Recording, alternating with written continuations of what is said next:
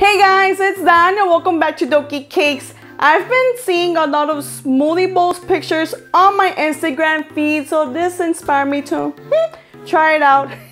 Today we'll be making a blue spirulina smoothie bowl, but not just any smoothie bowl. We'll be making this Ponyo smoothie bowl. I think it turned out so adorable and the consistency and color is absolutely amazing. Are you ready to get started? Alright then, let's get started.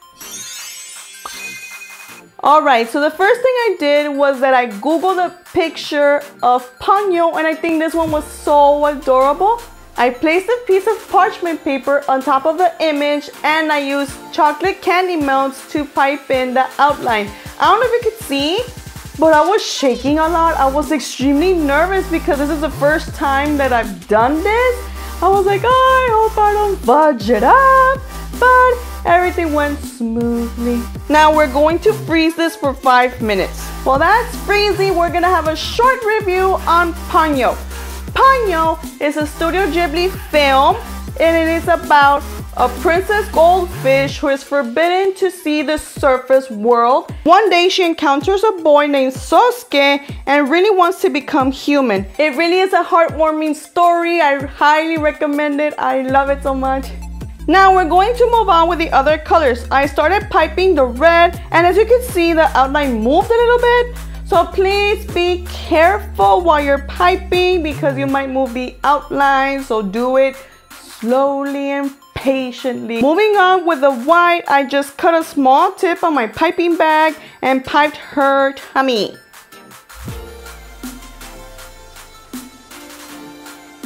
And I repeated the same thing with the hair but using melted orange candy melts. For her skin tone, I melted white chocolate and added a tiny bit of orange and it really created this awesome skin tone. Again, be careful because the small pieces can move, so slowly and carefully pack the entire face.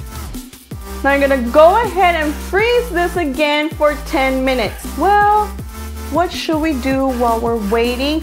Well, of course, we're gonna be watching some TV. I'm currently watching Cells at Work. I highly recommend this anime. I think it's so fun. Let's move on with the smoothie. I followed a recipe on Instagram and the things we will need are two frozen bananas. I thought they were not gonna fit in my tiny little blender. and one tablespoon of blue spirulina. I just sprinkled it all around and then I just cranked it up. But I noticed and obviously you will notice this too. It started to look like blue cottage cheese. And I was like, what the hell?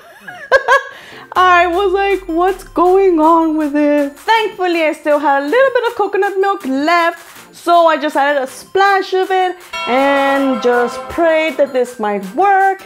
And yes, it did. Immediately, it made this amazing smoothie consistency and the color is just so amazing. I bought this blue spirulina from Raw Nice and I'll leave a link in the description box below so you can check it out and they have other colors as well. I added my smoothie on a bowl and then I smoothed it out with a spoon. This was kind of fun actually. I was really going on a trip just like smoothing it out. Then I added some white sprinkles to mimic the bubbles. And lastly, we're gonna add our little Ponyo. And voila, here's a Ponyo smoothie bowl. It turned out so cute and the consistency was amazing. And of course, it was super yummy. I ate it all up. Yum, yum, yum. I hope you guys enjoyed this video. I had a lot of fun creating this, even though I was scared for a bit, but gladly everything turned out okay. If you like this video, make sure to give a big thumbs up. And if you have another anime theme that you want me to try, Leave them in the comments below. And don't forget to subscribe to Doki Cakes for more videos. See you next time. Bye bye.